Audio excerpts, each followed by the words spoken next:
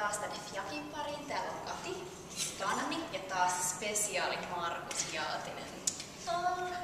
Ja tota, tänään on luvassa lantion kahdeksikkoa ja vähän liikutaan eteen ja taas kahdeksikolla. Joo,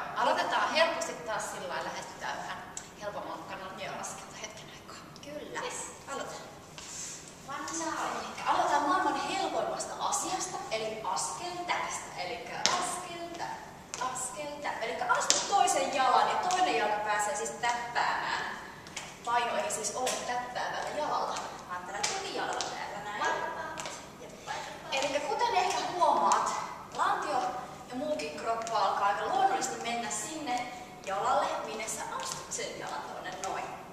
Sieltä sitten lähdetään hakemaan sitä etukaarta, mitä ollaan sitten jo aiemmissa jaksoissa tehty. Eli katsoppa se video, jos tuntuu, että vähän hakusessa. Eli työnnät sieltä sitä lantioa eteen ja taakse, eteen ja taakse.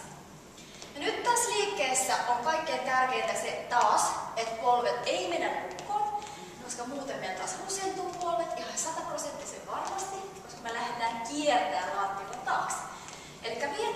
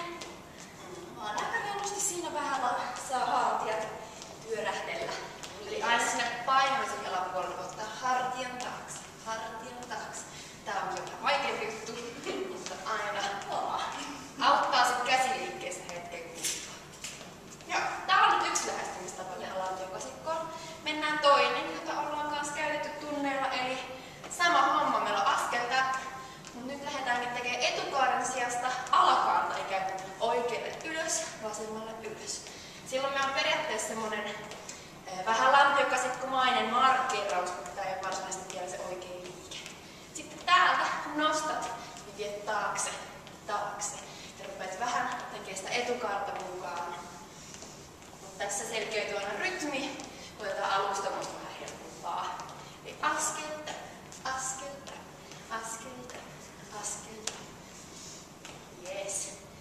Sitten, jos me vedetään jalat pois vähitellen ja tehdään Joo. se niin kuin, niin kuin se nyt sambassa usein tehdään, eli enemmän niin kuin jatkuvana liikkeenä kuin askelena, tai askeleena, niin siellä on periaatteessa etukaari, taakse, etukaari, taakse. Nyt pääset taas kantapäitä irti tai varpaita kummin vaan. Eli anna jalkojen joustaa mukana. Me on täällä. Eli tuo oikein Oikein vähän niin kuin tuolla aina taittuu. Voit vähän tehdä liioittelevasti tämmönen Joo. Hardi. Tää on pitkä liike nyt tässä. Pitkät Sitten se hartia. Oikein taakse, vasen taakse. Nyt tää näyttää oikein showtanssilta. Otetaan käsi ylös. Oikein ja taakse. Vasen ja taakse. Käset, kä- käset, kädet saa olla pienemmätkin. Aloitetaan isoilla, isoilla liikkeillä.